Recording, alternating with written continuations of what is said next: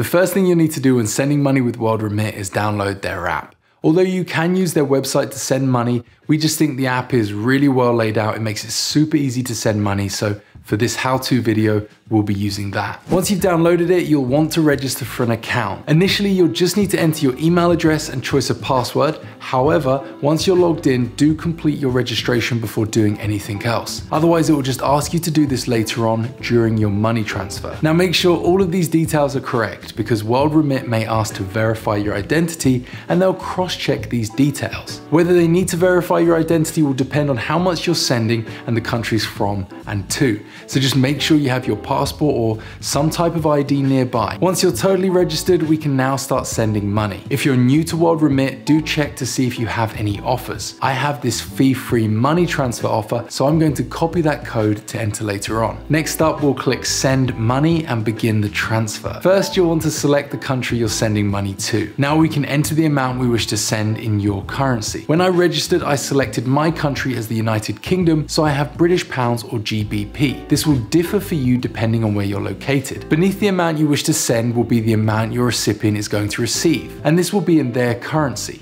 If you're happy with that amount, then click Done. Next, we will select Choose How to Send. The choice you make here may impact the amount of money your recipient receives, so it's worth checking each one. For Morocco, there are three choices, but this may be different for you depending on where you're sending money to. In my case, if I selected cash pickup, my recipient would receive less. So I'm going to stick with bank deposit and the money will be transferred directly into their account. For those that don't know, cash pickup would be when the person goes to an agent location or bank and collects physical notes. This is usually the most expensive way of sending money, and at Monito, we recommend avoiding this option where possible. I'm going to add my promo code and then click OK, got it. All we need to do now is enter the details of our recipient. Again, this may vary depending on the country you're sending money to, and you may need to enter an account number or perhaps an IBAN. Once their details are entered, and this is very important, you now need to select how you wish to pay for the transfer. I'm going to send via bank transfer, so this means I'll manually transfer the money from my bank to WorldRemit. If you do choose to make the payment with a card, I would suggest avoiding using a credit card, as this type type of transaction will be considered a cash advance and will likely incur extra fees. Once you've paid and completed the transfer, then you're done. And if you have any questions, feel free to ask in the comment section. And before you do send any money,